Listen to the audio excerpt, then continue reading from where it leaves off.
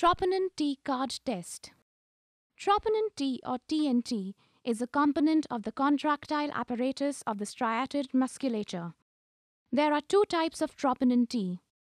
Cardiac troponin T, which originates exclusively from the myocardium, and skeletal muscle troponin T, originating from skeletal muscles. Cardiac troponin T is highly specific to the myocardium and a sensitive marker for myocardial damage. In cases of acute myocardial infarction, troponin T levels in serum rise about 3 to 4 hours after the occurrence of cardiac symptoms and can remain elevated for up to 14 days. Troponin T is an independent prognostic marker which can predict the near, mid, and even long term outcome of patients with acute coronary syndrome.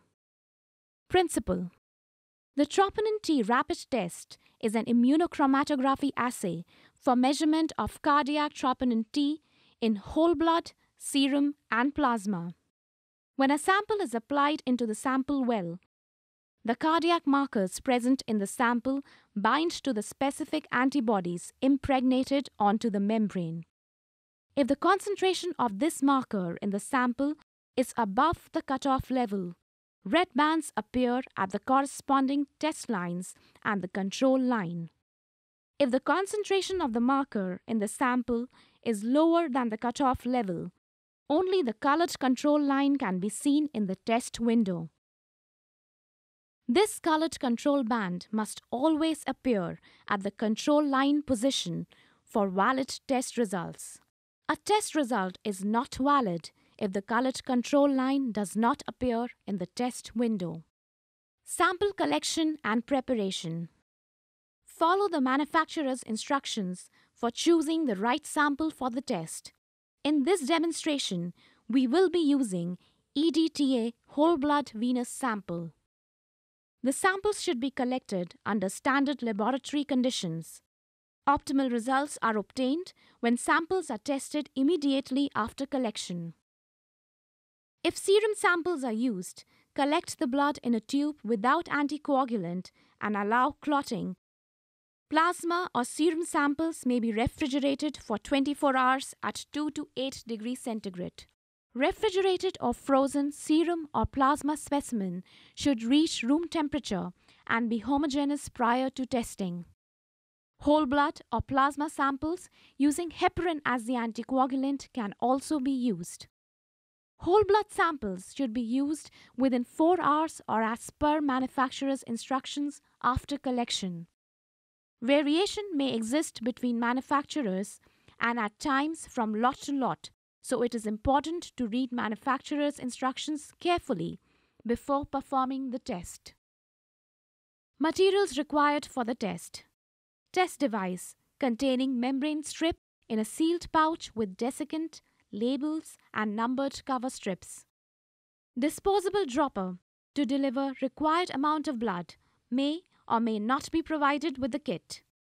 If not provided, then use pipette with disposable tips. Timer EDTA venous whole blood sample. Method Follow all standard precautions while performing the test. Collect blood samples as described in the section of phlebotomy. Remove the test device and sample from the refrigerator and bring them to room temperature prior to testing. Remove the test device from the sealed pouch immediately before use. Label the device with sample identification number. Mix the sample by inverting the vacutainer a few times. Using the disposable syringe, aspirate the sample up to the arrow mark. Inject the total volume aspirated onto the application area. Using sample transfer dropper, deliver sample into the sample well. As an infection precaution, gently peel off the label and attach it to the documentation log or register. Cover the application area with a numbered cover strip provided with the kit. Read the result at 15 minutes or manufacturer recommended time and record it on the label. Results and interpretation. The results of troponin T rapid test are determined by the naked eye. A single red colored line at the control area C without a line at the test area is a valid negative result and indicates the concentrations of cardiac troponin T in the sample is below the cutoff level. Appearance of a red colored line at the control area C and appearance of red colored line at the test line indicate the concentrations of cardiac troponin T in the sample is at or above the cutoff level.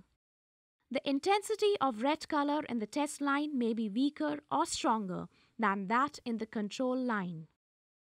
If no colored line appears in the control area in 15 minutes, the test result is invalid. The test result is inconclusive and the assay should be repeated. Note Very faint T line indicates that cardiac troponin T in the specimen is near the cutoff level. The samples should be retested or test results should be confirmed by other quantitative assay. Biphasic indication, troponin T and troponin I. It is important to do troponin I concurrently with troponin T. Troponin I has monophasic increase, troponin T has biphasic increase. Troponin will remain high for more than 2 weeks in myocardial infarction troponin I will come down in 5 to 7 days. So, Troponin I is a better prognostic indicator. Storage of the kit. The test kit should be stored at manufacturer recommended temperature in the original sealed pouch for the duration of shelf life. The test kit should be kept away from direct sunlight, moisture, and heat. Perform the test immediately after removing the test cassette from the foil pouch. Do not use it beyond the expiration date. Precautions that need to be taken. Handle all specimens as potentially infectious. Proper handling and disposal methods should be established.